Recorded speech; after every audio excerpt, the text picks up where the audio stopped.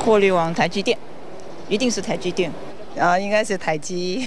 护国神山，连民众都知道护国神山台积电真的不是浪得虚名。上市贵公司二零二三财报五天王出炉啦，而其中台积电就囊括了获利王和现金王的双料冠军。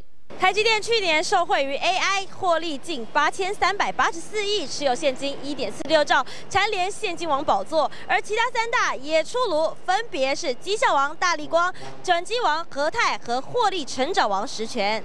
台积电这奖拿的风光，美国新厂也有好消息，传出四月就要进行首条生产线试产，预计年底完成准备，原定二零二五的四纳米量产计划有望提前至二零二四年底开始量产。其实台积电美国厂越快量产，对台积电越有利。那至于美国的客户呢，目前也都在思考分散风险的问题。台积电美国厂。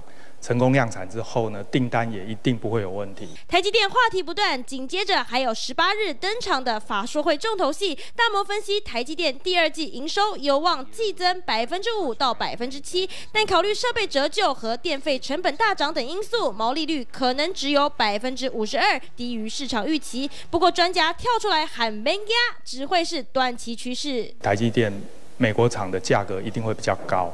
所以要保持毛利率这件事情，依照目前台积电的状况是有机会做到。